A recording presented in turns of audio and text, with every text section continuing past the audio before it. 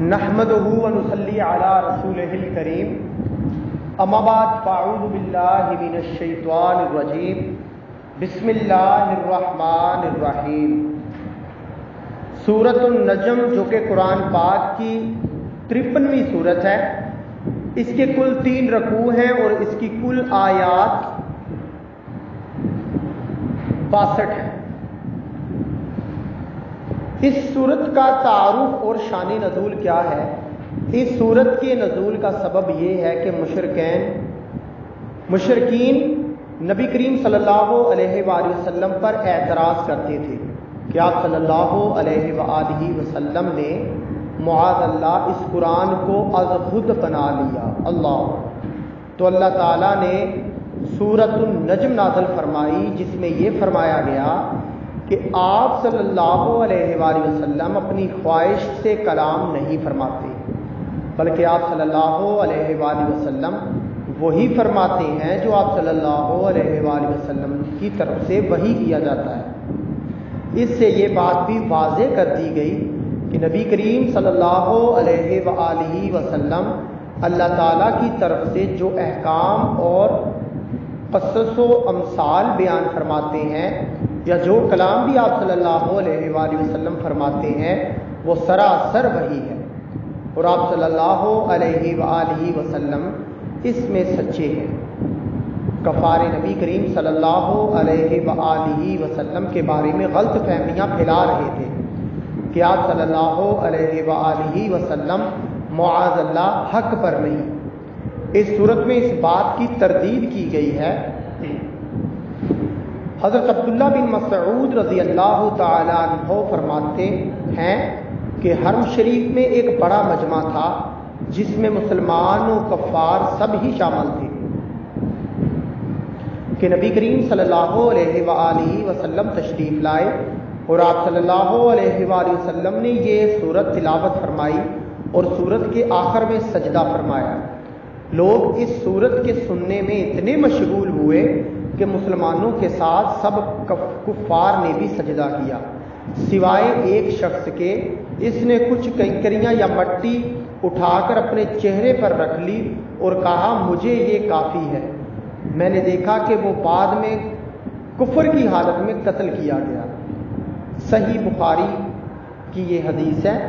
ये पहली सूरत थी जिसमें आयते सजदा नाजिल हुई। सुबहान अल्लाह। सही बुखारी में है कि सूरह नजम, वो पहली सूरत थी जिसमें आयते सजदा नाजल हुई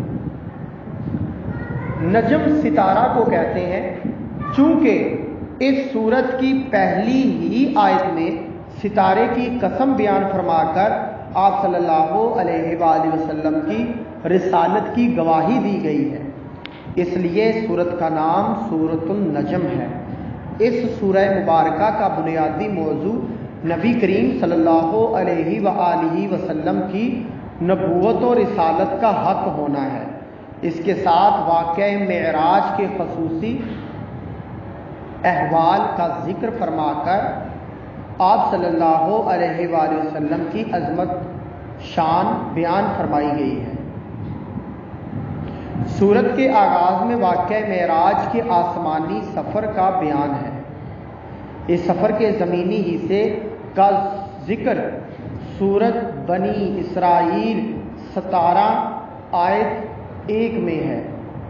सफ़र महराज नबी करीम सल्लल्लाहु अलैहि वसल्लम का अजीम शान मुजज़ा है, जिसके ज़रिए अल्लाह ताला ने आप सल्लल्लाहु अलैहि वसल्लम को खसूसी मकाम मरतबे से नवाजा।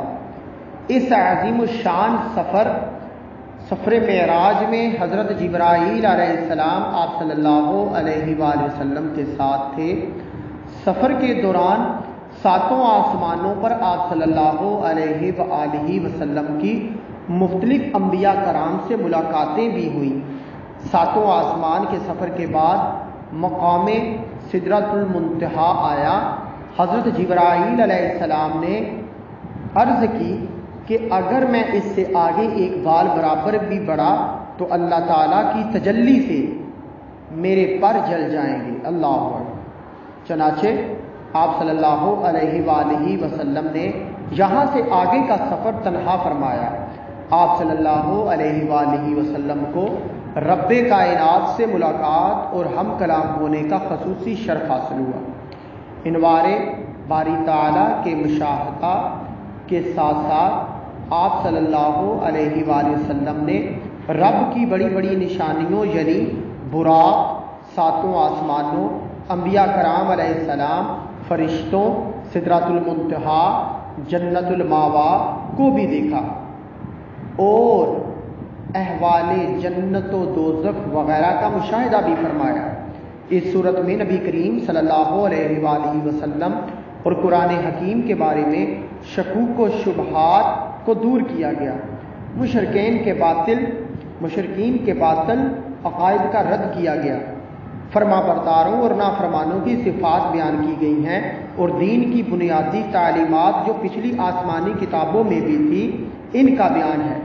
आखिर में क़्यामत के ज़िक्र पर सूरत मुकम्मल होती है। और इसमें नोट ये है कि वाक़ मराज की मज़ीद अगर तफसीलात हमने करनी है तो हम जो बेटा, हिस्सा पंजम में जो किताब है, वो हम उसका मुशाह मुताल कर सकते हैं। और इस सूरत इस सूरत में जो हासिल होने वाली इल्म अमल की बातें हैं, पहली बात है कि नबी करीम सल्लल्लाहु अलैहि वसल्लम जो बात बयान फरमाते हैं, वो अल्लाह की वही के मुताबिक होती है। दूसरी बात है जो हमारे नबी सल्लल्लाहु अलैहि वसल्लम फरमाते हैं कि अल्लाह के साथ खुदाई में कोई शरीक नहीं है और ना ही मुशरकिन के पास शिरक के लिए कोई दलील है। तीसरी बात है कि जब दुनिया और आखरत में असल इख्तियार अल्लाह ही का है तो इबादत भी इसी की करनी चाहिए। वही इसका मुस्तक है। और चौथी जो बात है कि क़्यामत के दिन अल्लाह ताला के सामने सिर्फ़ वही सिफारिश कर सकेगा जिसे अल्लाह ताला हुक्म देगा और जिसके लिए सिफारिश करने की इजाज़त देगा। और पांचवी जो बात है कि अल्लाह ताला से गाफिल और दुनिया को चाहने वालों के इल्म की वसात सिर्फ़ दुनिया की ज़िंदगी तक महदूद रहती है। और छठी बात है, जो शख्स अपने बड़े बड़े गुनाहों और बेहयाई कामों से बचता है, इसके छोटे गुनाह अल्लाह ताला मुआफ़ फरमा देता है। और सातवीं बात जो सीखने को मिलती है कि हमें अपनी नेकियों और पाकिजगी का ज़्यादा इजहार नहीं करना चाहिए, क्योंकि अल्लाह ताला हमारे तकवा से खूब वाकिफ़ है। और आठवीं बात है, दीन इस्लाम की बुनियादी तालीमत हमेशा से एक ही रही हैं, जैसा कि हज़रत इब्राहीम अलैहिस्सलाम और हज़रत मूसा आसमाम के सहीफ़ों और पुराने हकीम में है। और नवी बात है कि रोज़ क़यामत हर शख्स अपने अमाल का जवाबदा होगा और कोई किसी दूसरे का बोझ नहीं उठाएगा। और दसवीं बात है कि रोज़ क़यामत हर शख्स को बदला में वही कुछ मिलेगा जिसके लिए उसने दुनिया में मेहनत की होगी। और अल्लाह ताला से दुआ है कि अल्लाह ताला हमें कुरान पाक को समझने की तोफ़ीक और इस पर अमल करने की तोफ़ीक और इसको रोज़ाना पढ़ने की तोफ़ीक अदा फरमाए। आमीन। सुम आमीन।